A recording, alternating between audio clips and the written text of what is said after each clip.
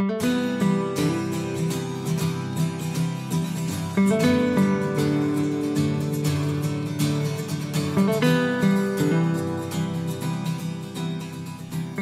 to this week's episode of Conversations Different, a weekly podcast from the Santa Fe New Mexican.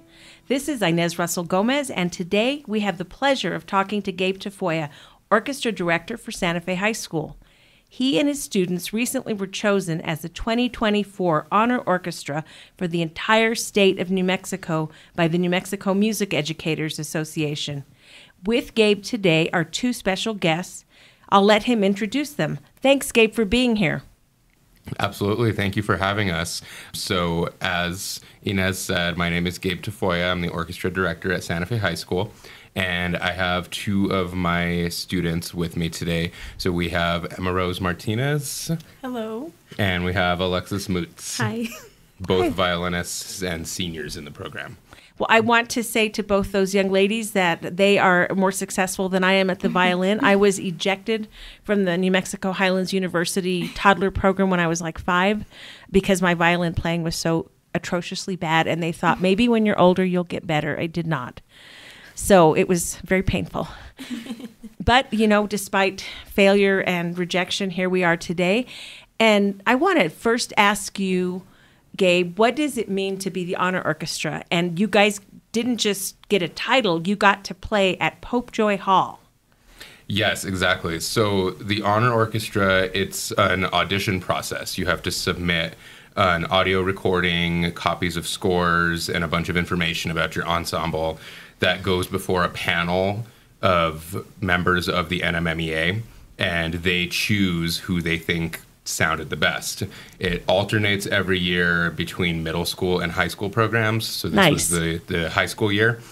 And you know, it's a, it's a huge honor because it's a committee of professional musicians saying your group sounded the best of everybody who submitted an audition.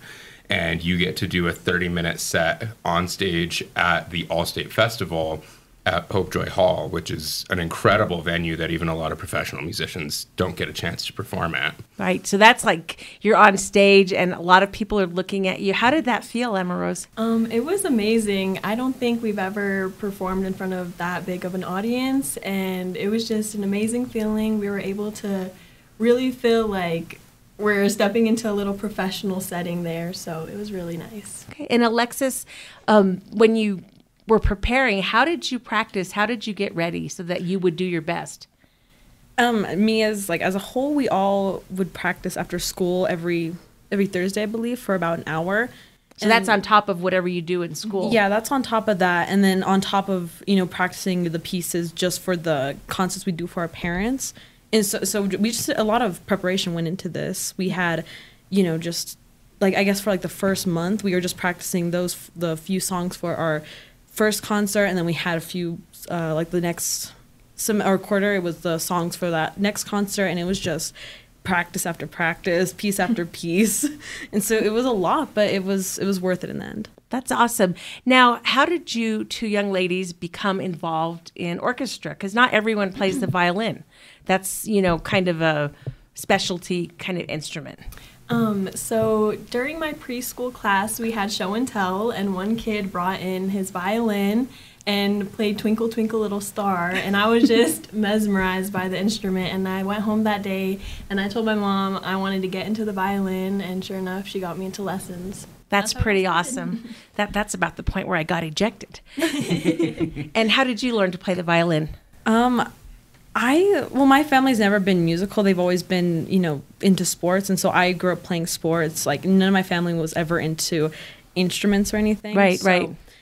I honestly, it was just I was just listening. Like one day, I accidentally stumbled upon a orchestra piece, and then I just I, I watched it and or listened to it, and then listened to more, and then I fell in love with it. And at the time, I was in middle school, and I kind of found these pieces, and I didn't have um a I went to Turquoise Trail, and they didn't have any orchestra Right, right. program there. And so i was forced to kind of learn by myself.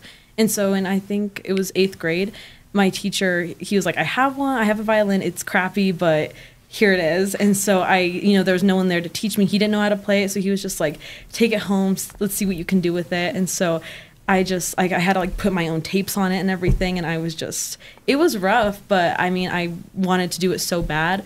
But like my parents, you know, my sister was going to college and so, you know, doing lessons wasn't really in the option for us. Right, that makes sense. So that just as an aside, one of the things people forget when they go after going to a charter school is that a lot of those schools do not have the activities of just a regular public school. So had you been, let's say, at Milagro, if it was open then, or at like Gonzales Community School or something with a K through 8, they have orchestras. And you teach at the high school, but you also teach at middle school. Is that correct? I think that's what Christina said. Yes, I've been at a couple different schools throughout my time in SFPS. I I did two years at Mandela, and I taught at DeVargas Middle School the last year that they were still a thing before they got combined with Capshaw, um, and currently teach at Milagro Middle School. It's my second year there. Right. And they have a mariachi program at Milagro now. It's an after-school program. Right. It's not directly tied to the school. Anybody from there's students from Pecos and students from just the community who Oh, nice. participate in that. so had that been existing when you were at Turquoise Trail, you could have gone after school. Yeah. Well, I so I played volleyball at Nina Otero, and so every time we'd have practice, the orchestra would be outside practicing, and I just like every time I was like, I wish I had an orchestra. Oh. And I couldn't, I, my parents didn't let me transfer, so I was just kind of stuck Yep. watching them from the side. But you were stubborn and you kept doing it. And so you really only played with a group for four years of high school. Three. Oh, three. Yeah, I didn't do um, freshman because of COVID, and if Oh, that's it was right. Gonna, if it was going to be my first time actually learning from a teacher, I didn't want to do it online and through a screen. Right. That makes sense. That makes sense. Yeah. Because you guys had your education interrupted for part of it. That makes sense. Where did you go to elementary school and middle school? Um, I went to Wood Gormley for elementary school, and then for middle school, I went to ATC, and then for part of my high school, I was also there. And um, they had acoustic Americana, so that's like fiddling, which is a little bit different than orchestra. And that was fun. It was a great experience, but I still wanted to be in an orchestra. Makes sense. Yeah. You probably played with Sophie Barker. Yes, I Yep, did. yep. I have seen her Americana video mm-hmm. fiddlings. They're, It's fun. Yeah, that's good.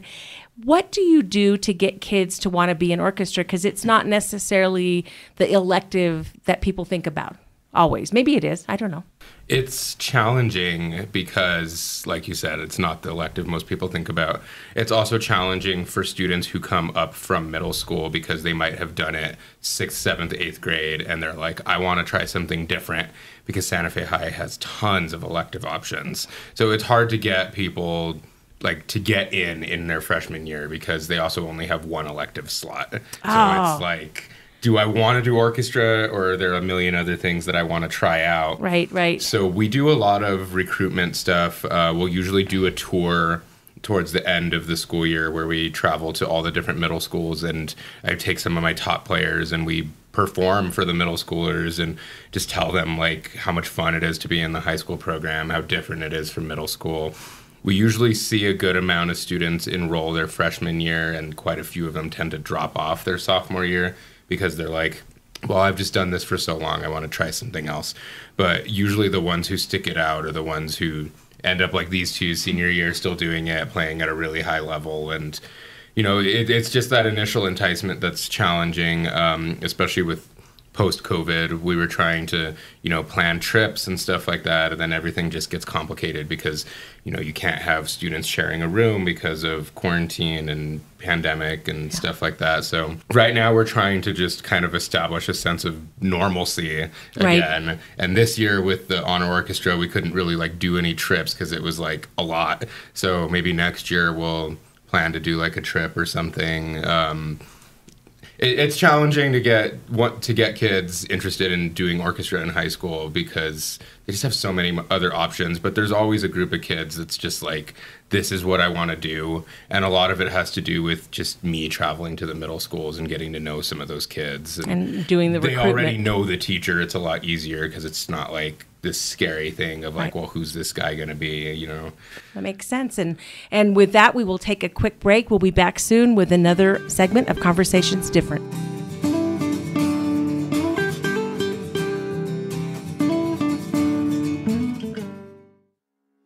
Thanks, Inez. This is Patrick Dorsey, publisher of the Santa Fe New Mexican. We hope you're enjoying this episode of Conversations Different with Inez Russell Gomez. Great local content is only possible with a talented staff dedicated to bringing you the best local content possible. For that staff to do its work, we need your support by subscribing to the Santa Fe New Mexican. If you're already a subscriber, thank you. And if not, there's never been a better time to subscribe.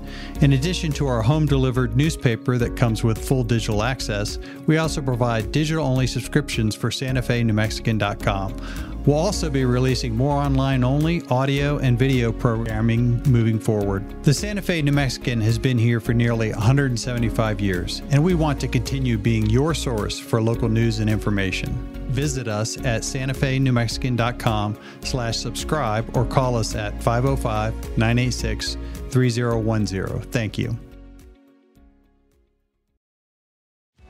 It's a new day in New Mexico, and the doors to boundless opportunity are open as tens of thousands of New Mexicans reach higher to pursue a dream, broaden their horizons, and retrain for a better job. With the New Mexico Lottery and Opportunity Scholarships, you could build yourself a better future anywhere in the state. You put in the hard work, we'll help with the costs.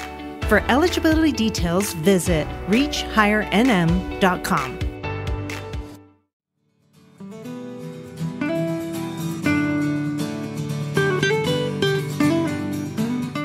We are back with Conversations Different, talking to Gabe Tafoya, who is the orchestra director at Santa Fe High.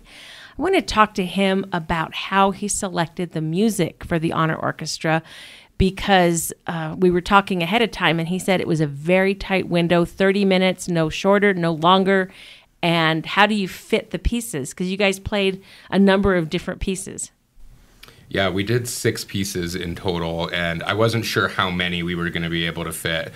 Um, I sat down after we got the acceptance email from the NMMEA this summer and just, I mean, I spent days perusing um, JW Pepper, which is the website where I usually buy my sheet music, just looking for repertoire. And, you know, I was looking for it has to be challenging enough, but not super difficult. And I didn't really have like a theme in mind. I just wanted to do music that I thought the students would enjoy playing right. and that I thought would be something different because, you know, they're going to be working on this for a really long time and really digging in. And I didn't want it to be like stuffy, boring classical music and stuff that the students didn't want to play.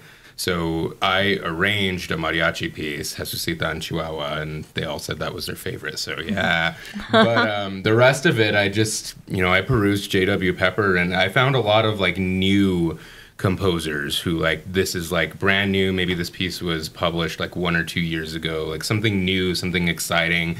I didn't want to do the same old same old stuff. Mm-hmm. Okay. And the reason you picked one of the mariachi songs is that that's something you do in your spare time if you have any because i think being in music a teacher is always time consuming but you're with mariachi azteca is that right? Yes i've yeah. been with mariachi azteca for five or six years now. I joined them maybe about a year before the pandemic, and then everything blew up, and then now we're getting back together. So, yeah. Yeah, I got to hear you play recently, and boy, if you get a chance, that, that's they're really amazing. Yes. Yeah, that must be kind of interesting as a student because you see someone who's a teacher, but also who's a professional musician. And maybe that's not what you want to be in life, but it gives you an idea that even with a career, you could play music on the side. Is that something, Emmarose, you hope to do? Um, yes, it is exactly. Um, and Mr. Tafoya actually started, I met him, he was my mariachi teacher when I started back in 2019, before I even went to Santa Fe High. And then when I um, transferred to Santa Fe High and I knew he was the orchestra teacher, that immediately wanted me in the orchestra class. And just seeing him as an example, it's really great for what I want to do in the future. Yeah. Yeah. I, th- I think one of the things that's nice about Santa Fe is there's so many people, like, you know, half the lawyers in town are in bands mm-hmm. and, you know, they're doing music and, you know, making yes. a living and feeding their family. Now, you said before we came in that you wanted to go into film. How does music help you with that ambition? Oh, it is probably one of the key elements for me when I when I think of film. It's always music. I base a lot of my short films that I do off of the music. I, I pick a song and then I create a story around that song or a story just around that feeling, and then I end up producing it. And it, music is just such a big aspect in my life and in what I want to do in the future. I mean, I guess for example, the one thing that got me into film was um, Christopher Nolan's Interstellar. Okay. Because I watched it behind the scenes, and the biggest thing that stuck out to me that actually captured me was the how they created the music and how he like wanted it to be very authentic. So they went to a chapel and recorded all of that. And it was just that like I want to be able to go in and do that sort of thing. So you're talking maybe maybe you'll be a director later, but at, what you're really interested in is the sound and, and how that fits to create Yeah. the atmosphere for the movie. Mm-hmm. Oh, that's I had no idea that there was such a thing when I was your age. That's that's really that's awesome. I think goes back to the idea that music is something that prepares you for life. What do you think the big lessons your students have learned this year? I think commitment is a big one, hard work, dedication. You know, everybody freaked out a little bit when I first told them that we were going to be the honor orchestra, and they're like, "What's that?" And I told them we're going to be performing at All State, and they were like freaking out about it. I handed them this huge stack of music and said, "This is everything we're going to be playing," and there was a moment of panic because they're like, oh my god what are we going to do? Like this is so much i actually had a student quit the class because she was like this is too much i can't do this. And you know i tried talking her out of it like you know we're only going to do just these two for this concert. And she's like like it's Yeah. it's, it's staggered. But still there, there was a lot of like how do we how do we tackle this? So i think you know time management is a big thing that music teaches you. That's right, because you play your violin, but you still have to do your homework and make up your bed, which I'm sure both of you girls do. Yeah. So it's one of those classes that people talk so much about education as career preparation, which I think is is kind of the wrong way to look at it, but it's more like life preparation. What drew you to violin? First, you, Emmarose. Um, I don't know. I think it was just like the range. I really loved how high the strings could go for one, um, and then just like the shifting and everything. And then that one kid, when he brought it in for show and tell, I was just like amazed, and I wanted to pursue it further. Yeah. And So you knew right away, and and you liked the way it sounded as well. Yeah, I I like that. Um, I like that it got like the main melody in most songs. Like that was like the that's the key thing you kind of hear whenever you listen to an orchestra song or a mariachi song. And growing up in a well, my mom's half my, my mom's Mexican and my dad's white, so growing up in that kind of household, I always had you know mariachi blasting from every part of the household. Right. And so you know it was just the uh, you know like Emerald said, it's the high string, and so it's the one thing you can actually like predominantly hear, and that's what drew me to it really. Nice. So you also grew up in music in Santa Fe because you're born and raised and is it hard for you now being a demon instead of a horseman? I have to I have to ask you that tough question. No, it's not. Well, um, I never really wanted to go to St. Mike's in the first place. My parents sent me there because my dad was a math teacher there. So they're like, Oh. well, you're just going to go to St. Mike's. I, I used to ask all the time if I could transfer to Santa Fe High, and it was like, no, that school's too big. You're going to go to St. Mike's. so was, um, I feel like more of a demon at this point than a horseman because I've been there for longer. That makes sense. And you probably had a wonderful time in high school too and I know they have a really good music program and have for a, a long long time. Yeah. So you played in orchestra band. What did you play in high school? There was no orchestra at St. Mike's when I was there. It's fairly new. I think it's only been around a couple mm-hmm. years. I played guitar in. Okay. high school, and Dorothy Kincaid was my guitar teacher, and she's like the reason I wanted to become a music teacher in the first place. and they only had one level of guitar, beginner guitar. But I took it all four years of high school, and she would always just give me extra music, and I would go home and practice literally all night long, and kind of stopped doing all my homework and all of my other classes. And I would come to school every day and be like, I learned that whole piece that you gave me yesterday. Can I have something else? Wow. And she didn't know how to keep up with me. That's awesome. So that's the example of a school kind of adjusting, or the teacher probably it probably wasn't the entire school because St. Mike's could be very rule oriented, but that's the teacher adjusting to what you needed. yes, exactly. My kid went up through the No Child Left Behind, and it was very hard to make adjustments. So it's always nice to hear that that still happens. Yeah. How do you guys fit? Orchestra in with your lives because obviously you're seniors in high school you're getting ready for whatever happens next so you're pretty busy i would imagine Yeah, I always find um, playing the violin is just like a little escape from whatever's going on in my life um, currently. So it's just a nice place to go when I want to go. nice nice I I mean, well, since I'm a senior, you know, I only have four classes, so I have like a bunch of extra time to do it because I'm, I, you know, I don't have a fourth period, or I don't have a seventh, so I just have all the extra time to do it. But even before, um, I remember like sophomore year when I started, I was in volleyball from since freshman year. So juggling those two on top of orchestra, it was one of the most difficult things I can right. I can't explain. That prepares you for the day if you ever want to have children, for when you have a children, a job, and and a husband, because you juggle so many things. And yeah. that's high school. I always think high school got me ready for being a mom more than anything I ever did because I was so busy. Um, anyway, on that note, we will take one more break and we'll be back with our final segment for Conversations Different.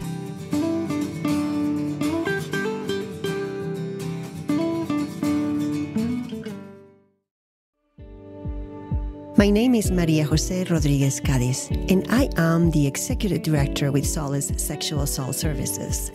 Our mission is to prevent sexual violence and empower survivors of sexual violence through restoring dignity, strength, and resiliency.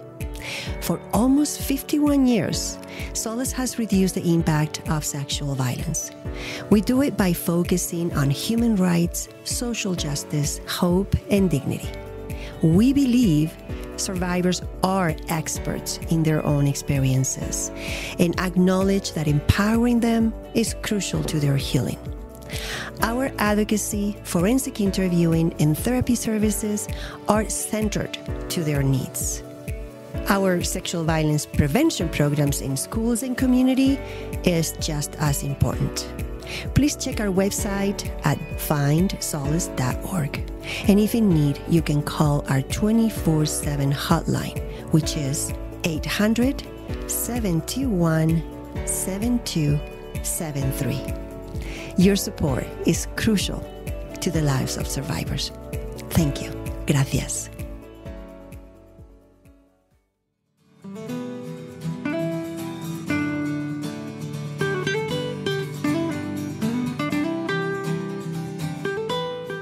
We are back with Conversations Different, talking to orchestra director Gabe Tafoya and his students. In our break, we had an interesting conversation about balancing the things in your life. And Alexis, I want to talk to you. How did you play volleyball and do orchestra? So, like I was saying during the break, I, you know, I had to pick a lot of times between, you know, it was simply just do I want to do I have to go to practice or do I want to go to this concert? Do I want to go to this game? Do I want to go to the concert? And so it was just, you know, I guess at the end of the day, it was kind of deciding what was more important to me and what I cared about more. And I think it was what would take me further in life. Right. And, you know, volleyball is an extremely competitive sport. Savvy High, it's competitive. But when you're trying to go D1 or college, right. even D2 is extremely competitive. And so, you know, I had to kind of, I sat, sat down with my parents and stuff. And like I said, growing up in a predominantly sports household, they were always fans of me choosing the sport over something like music because they their whole thing was it's not going to take you far. Sports can. Sports can get you scholarships. Sports can do this for you. And so i was always having to juggle like you know what do, do i care more about this? Like this is my passion but i love volleyball. Do i want to continue with volleyball in the future or not? And so finally i just ended up quitting volleyball this coming summer or this yeah, this year i quit volleyball and then i decided to just focus on film and orchestra Wow, so that's a hard decision because it, was, it took a very long time to decide that. Yeah. It, it, wasn't, you know, it's not just something that I was like woke up and I was like, yeah, I don't want to do it. I mean, I had spent countless hours crying about like this has been my sport I've played since I was in elementary. Right. So right. I want to leave that for an instrument I've been playing for like three and a half years. Yeah. Mm-hmm. But that shows how much you love music. Mm-hmm. Yeah, I quit volleyball and basketball going into high school because you couldn't do that in marching band and there was it was getting a little too crazy and and sometimes you do make those choices and then when you get into life you make even more choices and this kind of gets you ready for how you oh, now yeah. you know your decision process oh yeah it, yeah. it takes a lot my decision process is very long but you know like i said since my parents weren't really they were supportive but they weren't they were like i'd rather you do sports. So i didn't i had to at the end of the day i had to decide for myself. It wasn't like i had no one to influence me. Right. Yeah. That's how you grow up? Mm-hmm. and one of the things i noticed when i saw the picture of the orchestra is that there's not a ton of kids. So you guys have to do it. How many? 18 how many are in it? 18 total which is very small for like a high school orchestra. Yes. Yes. So that's even more impressive when you think about it Yeah, there's a lot of individual responsibility on students. Like, you know, these two are our only second violins. And there's a lot of individual responsibility because if there's a Divisi part where they're both playing something separate, there's one person playing that part. And it's a lot of individual responsibility. Mm-hmm. When you play in a section with, you know, 12 other people, nobody's going to notice if you make a mistake or you drop a part. But when it's just you, there's a lot of responsibility. So you guys got to be soloists without even trying. Basically, I know it was very difficult, and we had to go in some after school days to really grind and get the parts down. Mm-hmm. But I'm very proud of ourselves, and I'm- we yeah, managed to do it. proud. So Yeah, very proud. you know, whenever there's just two, you don't really, you know, it's hard to kind of hear them. So every time we are like, need to play louder, need to play louder. Yeah. when I was in band, the band director used to suggest I take a break once in a while because I was always out of tune and didn't notice it. and he's like, "Can you hear that?" And I was like, "What are you talking about?" He goes, "Why don't you rest? You're tired." so, not everybody brings out the best in you, like Mr. Tafoya obviously has. So, what's next for you guys? Our next thing is that we have to prepare for music performance assessment, which is in March. And we're carrying over two of our pieces that we already know, so at least we can not like totally kill ourselves getting ready for that. And then we're going to learn one new piece. Good. And we host that event at Santa Fe High also. So, So, is that like a, a contest, or is Yes. So you get rated one, two, three, four, kind of thing. yes. Right. So you'll have judges and mm-hmm. Yes. yeah, those are always nerve wracking. Yeah, I think it's a really good experience though overall, and we really get to grow as musicians. So I really appreciate that opportunity. Oh, that's exciting. Mm-hmm. well, I think that's one of the interesting things about different personalities is the people who rise to a performance challenge or to a competition challenge. That's mm-hmm. if you do your best, that that's a good sign for life. Well, we have been happy to have you as a guest, both you young ladies mm-hmm. and Mr. Tafoya, and we will be back again with another edition of Conversations Different.